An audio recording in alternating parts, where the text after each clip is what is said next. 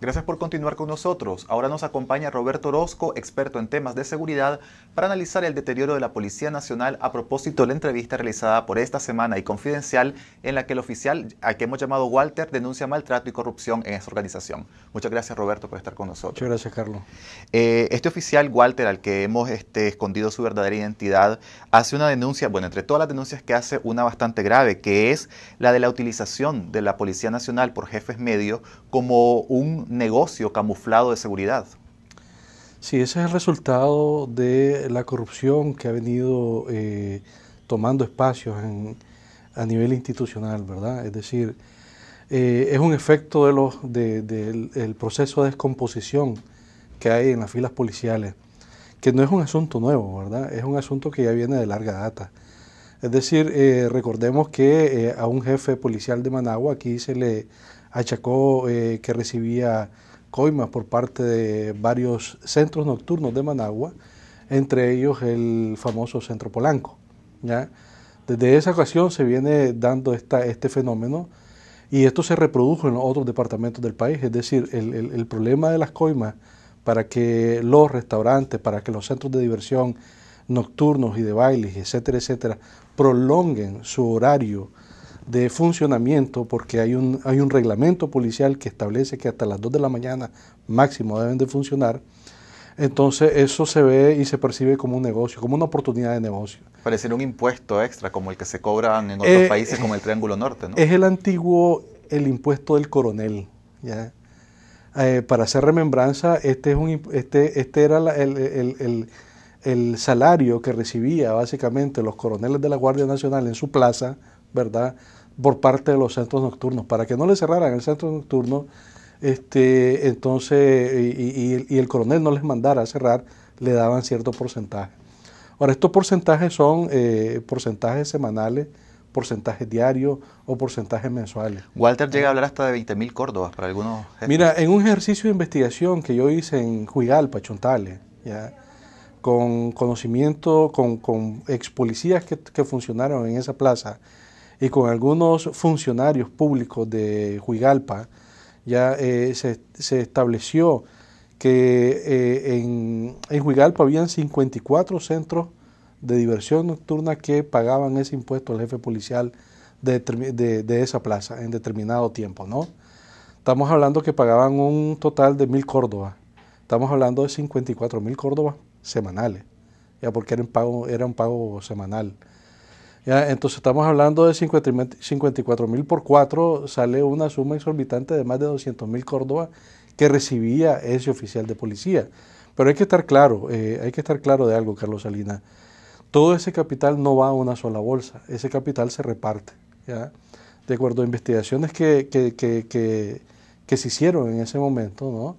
Eh, quedaba establecido que había un reparto de ese ingreso. Por lo tanto, eh, yo creo que en los departamentos es más sensible este problema porque hay menos supervisión que en Managua, aunque eh, esto es endémico. ¿ya? Y es el resultado, como te digo, del proceso de descomposición que ha habido en las filas policiales. Y si se conoce que hay este nivel de corrupción en la Policía Nacional, tanto en lo que corresponde a Managua como en los departamentos, ¿habrá algún proceso de investigación de parte de la policía para estos eh, directores y jefes corruptos que utilizan eh, la institución como un negocio? Mira, en el caso de la policía de Juigalpa, el jefe de la policía de Juigalpa quedó destituido. Sí hubo un proceso en el que en primer lugar se, eh, se le aplicó una medida administrativa de traslado y fue a parar al Rama como jefe de policía del Rama, pero en el Rama siguió haciendo lo mismo.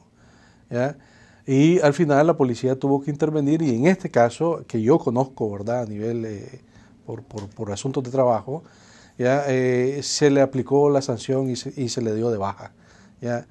Es decir, al menos en este caso, pero el problema es que, eh, por ejemplo, asuntos internos y la Oficina de Inspectoría General de la Policía no tiene mucha capacidad, ¿verdad? Y, y, y en todo el país eh, se dan estos casos. No, es un problema de Managua o de Huigalpa, también se dan en Rivas, pues, que es donde yo también estuve mucho tiempo investigando ciertas, ciertas actividades ahí y se daba ese problema. ¿ya? Es decir, es común que los jefes de plaza, ¿ya? o pareciera ser común que los jefes de plaza eh, entren en este tipo de, de negocio. ¿ya? ¿Qué, elementos han jugado, han permitido esa descomposición a la que se referencia la Policía Nacional? Mira, en primer lugar, yo creo que ha sido una falta de supervisión. En segundo lugar, ha sido, hay factores externos. ¿ya? Hay factores externos que tienen que ver con un proceso de cooptación, con un proceso de, y, hablo de cooptación política, ¿verdad? Es decir, el impacto que ha tenido la politización en la Policía Nacional es, es un impacto negativo ha generado la idea de mucha impunidad, ha generado la idea de mucha eh, libertad y eh, algunos eh, oficiales inclinados a, la corrupción se han aprovechado de ese fenómeno. Por lo tanto, tenemos aquí un proceso endémico. ¿ya? Y lo que mí, lo, lo, importante de la, de la entrevista con, con, este, con esta persona, con Walter, ¿ya? es que es la primera vez que alguien desde adentro dice algo que ya se conocía, ¿ya? confirma algo que ya se conocía, que la Policía Nacional jamás lo va a aceptar por un asunto de guardar su integridad, guardar su imagen y guardar su prestigio. Walter también hace referencia en la forma en que se hace justicia dentro de la policía. Él dice que el ciudadano común cuando pone una denuncia tiene que enfrentarse a ese largo camino de la burocracia, mientras que amigos de oficiales de la policía se les resuelve fácilmente cualquier tipo de problema que tengan y que termine en un distrito. Sí, es, también es un acto, es decir, eh, eh, es un resultado de, de, los actos de corrupción. Es decir, el tráfico de influencia a nivel policial es alto. Por eso es que nosotros vemos que eh, hay no solo policías, amigos de policías que, siendo policías les resuelven sus casos. También tenés casos de gente que con un poquito más de nivel adquisitivo, ¿ya? se les resuelven más rápido los casos que con personas con eh, menos poder adquisitivo. Es decir, el dinero eh, realmente llega a ser un, factor de influencia determinante dentro de, la, de las filas policiales. También, bueno, habla el tema de la partidización ¿no? y del control eh, que ejerce el presidente Ortega a la policía. Walter dice, quieren volver a ser una policía sandinista del mismo gobierno, todo manejarlo siempre en el mismo entorno y que lo hecho siempre se mantenga en silencio, que nadie diga nada, que nadie opine nada, porque la frase que ellos solo saben usar es que estamos con el presidente. Yo en ese sentido discrepo un poco con Walter. ¿Y en qué sentido? Walter dice que quieren hacer una policía sandinista. Yo discrepo porque la policía sandinista ya está hecha. Es decir, ya funciona como policía sandinista. Aunque en lo formal, ¿verdad? Aunque la ley, aunque toda la institucionalidad diga que la policía, eh, se, la policía se llama Policía Nacional, en la práctica es una policía partidizada. ¿ya? ¿Y desde cuándo ocurrió eso? Estamos hablando desde el principio de eh, la primera gestión del presidente de la República.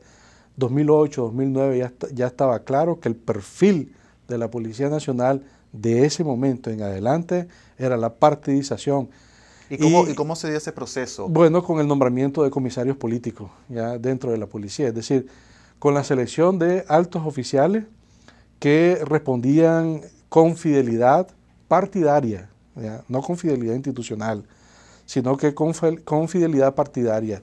Y estos ascendieron a nivel de eh, dirección de mando, de mando superior, es decir, fueron ascendidos a comisionados generales, ¿ya? Y eh, a partir de ese momento se crearon comisionados, eh, comisarios políticos dentro de la policía que respondían directamente a la Secretaría.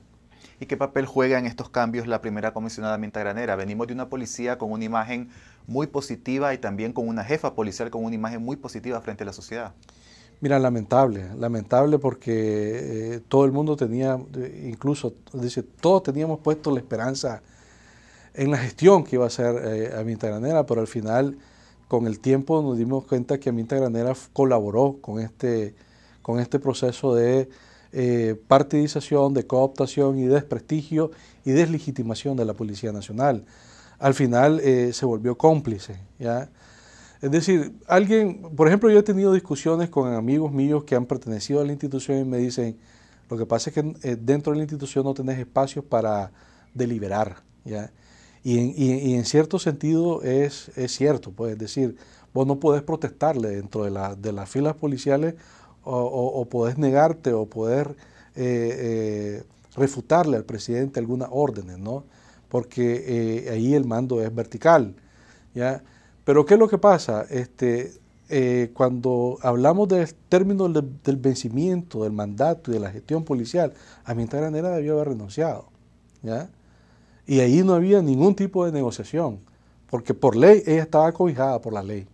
¿Y por qué crees que ella no tomó esa decisión? ¿Por qué no se retiró de la policía? Bueno, eso ya, eh, ya está fuera del, del, alcance. Lo que podemos hacer es eh, apreciaciones subjetivas, ¿verdad? Eh, pero no me gustaría entrar en el terreno subjetivo. El tema de la ley de seguridad soberana que fue aprobada, ¿cómo afecta el papel de la policía en, en su rol dentro de la sociedad? Mira, se vuelve subordinada a la decisión militar. Es decir, eh, la transformación que hace al sistema de seguridad pública la ley de seguridad ciudadana es que militariza la seguridad. Por lo tanto, la policía, y no solo la policía, la fiscalía y los órdenes eh, eh, tribunales judiciales, ¿no? se supeditan a, a, la institución militar. La institución militar se convierte en jefe, en directriz, en autoridad suprema a la hora de eh, aplicar la ley de seguridad soberana. Y esto es un golpe fuerte a la seguridad pública. ¿Y qué podría considerarse como amenaza dentro de ese abanico que establece la ley? Nosotros creo que, ah, por lo menos yo lo he dicho y ha quedado claro, es decir, la amenaza es un asunto discrecional. Y, de acuerdo a, a, cómo está diseñada, diseñada la ley de seguridad soberana, lo que tenemos es que eh, quienes van a decidir qué es amenaza o qué no es amenaza serán los militares, es decir, será la Dirección de Información para la Defensa que responde directamente al jefe del ejército, ya este, definir qué es una amenaza o qué no es amenaza. Está en su discrecionalidad porque la ley no, no estipula pautas para determinar una amenaza. Roberto, ¿vos dirías que la policía ha perdido legitimidad frente a la población? Completamente. Yo no diría que ha perdido, que ya la perdió. Ya la perdió. Ya es decir, eh, con todo este proceso, es decir, lo, el, el, más grave daño que le ha dado la politización, el proceso de politización de la institución, ¿ya? ha sido la pérdida total de su legitimidad. Ya nosotros en Nicaragua y eso creo que eh, le hace falta medirlo a través de encuestas, ¿ya? ¿Qué, tan, qué, qué, qué, tanto nosotros sentimos que la Policía Nacional es nuestra policía? Yo creo que eso se ha perdido bastante. Ya, los nicaragüenses eh, podemos tener eh, pensamientos y sentimientos divididos al respecto. Ya, por ejemplo, yo en lo particular no sentiría que esta institución me, me protege, me cuida, me, da tranquilidad, ¿ya? Pero hay otro sector de la población que a lo mejor sí siente que la policía le da, le da tranquilidad, seguridad. Pero esto tiene que ver con el trabajo sesgado político que le ha dado eh, la Secretaría a la institución policial. Y sin embargo, también a nivel internacional se habla muy bien de la policía de Nicaragua porque, claro, se hace una comparación con la realidad de violencia y muerte que se vive principalmente en el Triángulo Norte, en Honduras, El Salvador y Guatemala. Sí, pero eh, yo que tengo, con, eh, es decir, me relaciono por mi trabajo con eh, expertos internacionales, ya eso se está perdiendo. Es decir, cada vez más está la duda ahora de que si realmente la policía es una policía que goza de los niveles de legitimidad y prestigio que tenía hace 15 años, por ejemplo, hace 10 años, por ejemplo. ¿ya? Entonces, eh, esa apreciación internacional no es tan cierta. ¿Y vos crees que este proceso pueda ser reversible? Este proceso puede ser reversible solamente si cambia el régimen. Pero este proceso no es reversible y esa es la premisa si no cambia el régimen. Porque el régimen lo que busca es la fidelidad partidaria institucional. Es decir, los, los nombramientos de jefe y los, y los nombramientos de subdirectores en la Policía Nacional van a tener solo un criterio, y es el criterio que define el presidente de la República. ¿Cuál es ese criterio? Yo voy a escoger oficiales que me garanticen fidelidad a mi persona. Muchas gracias Roberto por estar aquí y por analizar con nosotros este caso. Gracias a ustedes. Recuerden que la entrevista está disponible en www.confidencial.com.ni. Eso es todo por mi parte, agradezco su sintonía y los invito a que nos veamos mañana en otra edición de esta noche. Hasta entonces.